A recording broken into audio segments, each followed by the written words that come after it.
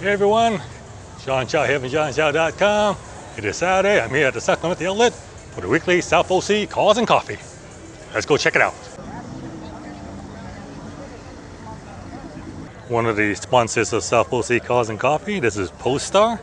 They're uh, well, they're, they're owned by Volvo, and these are their EVs. Simon's supercharged Camaro. His son James's Audi R8.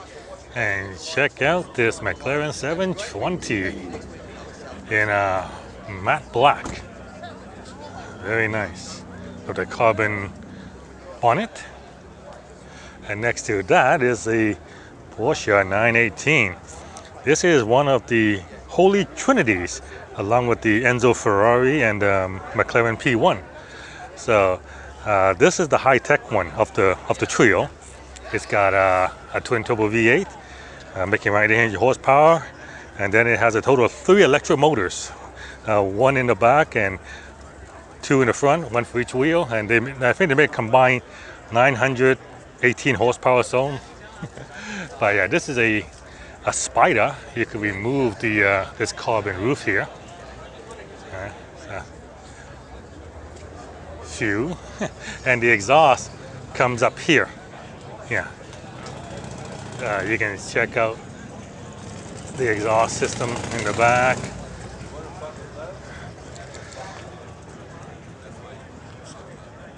Yeah. And a common trait of all Porsches that are hybrid, you notice the uh, the outlines in green. Yeah, green indicates it's a hybrid. So since it's a hybrid, you can actually put a, a sticker on this car that allows you to drive in a carpool lane by yourself. Yeah. Interior. Actually, even says Ye Hybrid. Nice. I like it.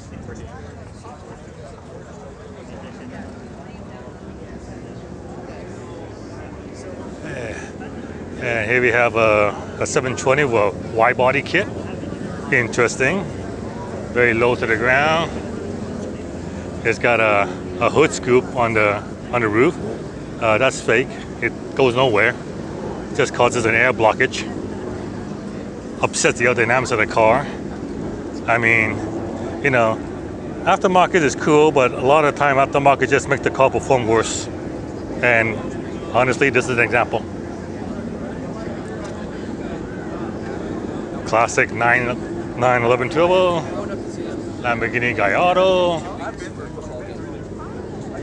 Ferrari 458 Italia, the last of the natural aspirated V8 from Ferrari, a Lamborghini Miura. Wow, haven't seen haven't seen one of these in forever.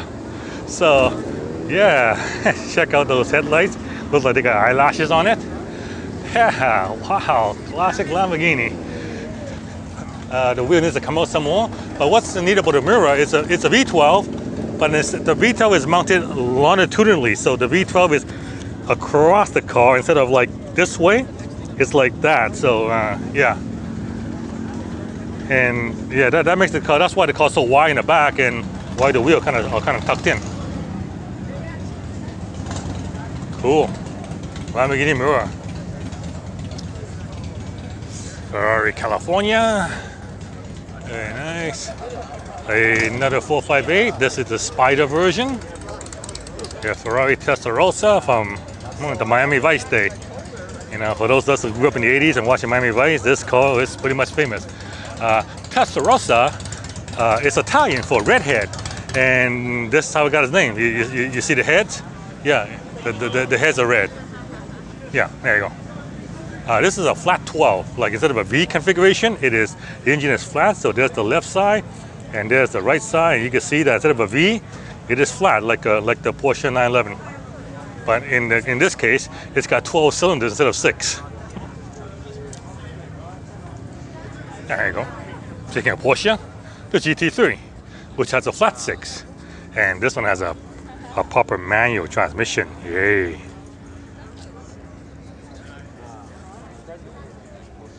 Uh, and there's another GT3. This is the RS. This will have an automatic because the RS only comes in an automatic. Another GT3. Nice Acura. Aventador SV. Glob, glob, mobs. Okay. Who wants Q-tips? Free Q-tips. Yay. I'm gonna assume this is the guy's company. He sells Q-tips. Uh, yeah, so who would imagine? That's a lot of Q-tip for to make a, to get an Aventador.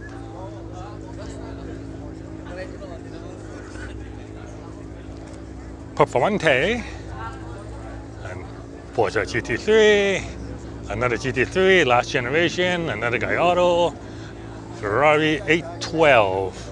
There he is. Yeah, so this is the Ferrari 812, 12 cylinder, naturally aspirated, 800 horsepower, 12 cylinder. So that's where the 812 came from. yeah. Porsche 488. 488. Look at the wheels on this 488. Is that cool or what? I mean, kind of like old Lambo wheels, but on a Ferrari. 720. Uh, another GT3. Seems to be a lot of Porsches today. And uh, Porsche Turbo, 911 Turbo. A ZR1 Corvette. Or ZR1. Canadian ZR1, ZR1, yeah. So this is the most powerful Corvette ever made. 755 horsepower. Yeah. It's got not one, but two front cameras. See, one here, and then one there. One is to uh, see what's in front of you. The other one's a track recorder to record your yourself on the track. Lamborghini STO, To, um, when you have it transported, make sure uh, another GT3, uh, transport Lamborghini, Lamborghini, 458 Italia, and another Lamborghini. A minivan on air rides. 4C, C8 Corvette, another Alfa, Oh, the minivan. 78 Trans Am, Smoking a Bandit. C6 Z06 Corvette, highly modified. It is for sale. wow. Air extractor fender louvers. Uh, the canard that is only a matter of time before someone steps on it and knocks it off, but for now it's, it's tacked on. Uh, nice wheels there, tiny little mirrors, and uh, a gigantic wing.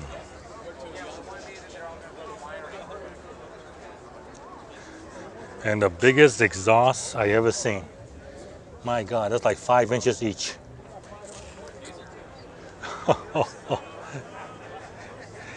it's like four Folgers coffee cans.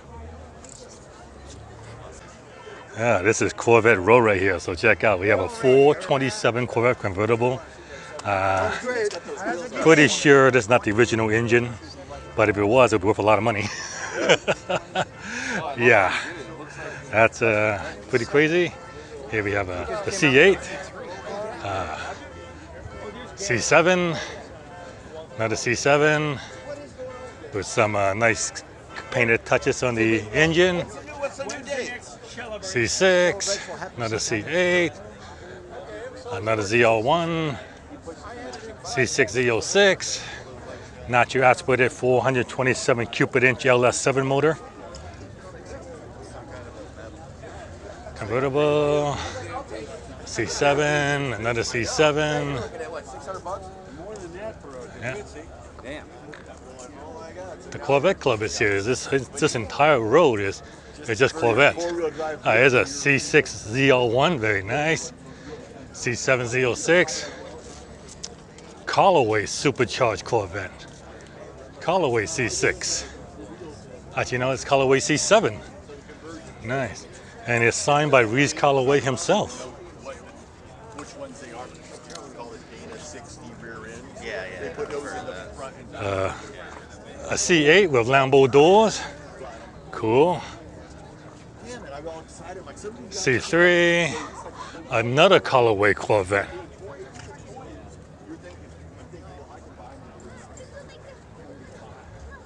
It's a Corvette takeover. Not just one road, they took over two roads. check out this uh, 992 with a matte blue wrap. Yeah, I've- yeah, it's a wrap. I don't think it's definitely not a paint job. Looks cool anyway. He's here to enforce the uh, no speeding, no revving, and no burnout rules. Check out. This is the Ford F-150 Lightning. And instead of having a tailgate party, it's having a, a front gate party. All right, so you got the outlets to power the Mr. Coffee coffee maker, uh, donuts, Krispy Kreme, everything. Hey, okay, I'm gonna have me a donut. That's, oh yeah, original glaze. That's what I want right there. Beautiful. Front gate party. So, yeah, the Ford F-150. This is, yeah, this is gonna be a hot seller. I can tell you that right now. I mean, uh, one of the cool things about the Ford F-150, it has what they call bi-directional charging. So most of the time, you know, you plug, you get home, and, and then and then you plug it into your house, and then it charges up. But it has bi-directional charging, which means that during times of a blackout or when the grid is being strained, the, the car's battery can go the other way and supply power to power your house or to help firm up the grid. So in the future, expect every EV to be able to do this. So those who say, uh, you know, we can't supply enough power for the grid, well, these are battery sources, and not only do they store, they store power, so they can release it not just to power the car, but they can release it to power the grid or your house. Little traffic jam here at the back.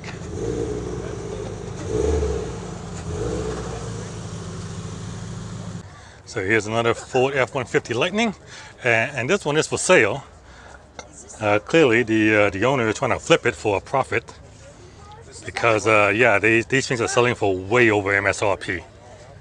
So I guess you know if, if you can make some quick buck on it, and if you want to overpay for an F-150 Lightning, uh, give this guy a call. Man, check out the Super Leggera with the big wing. hmm. Fake exhaust, real exhaust. And then, whew, uh, nice wrap on this uh, Porsche here. 650 with a carbon hood. GT4,